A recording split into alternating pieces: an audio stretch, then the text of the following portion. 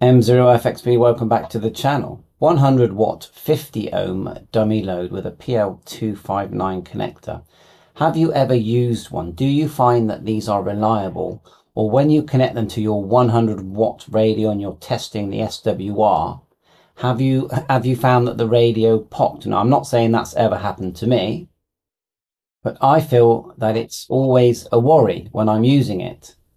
So I'll just read down the specifications of this one. The link to purchase is in the description. 100 watt PL259. It does say UHF here. Hmm. But um, the bands that it covers, well, it says 1 gigahertz. It doesn't actually give you a beginning on, on this one. That's interesting. But a gigahertz is a thousand. So anyway, it's quite a heavy item.